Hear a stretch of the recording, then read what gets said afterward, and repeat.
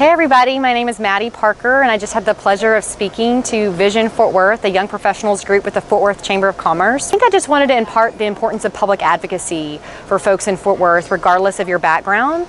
Even if you don't have an involvement in politics, I do think that politics and life really do intersect.